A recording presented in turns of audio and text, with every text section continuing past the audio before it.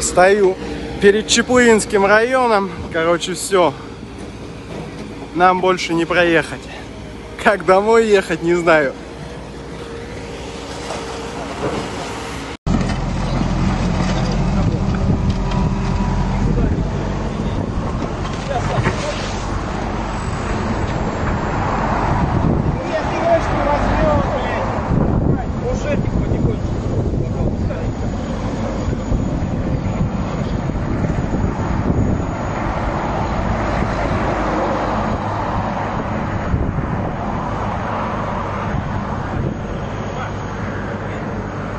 Huh?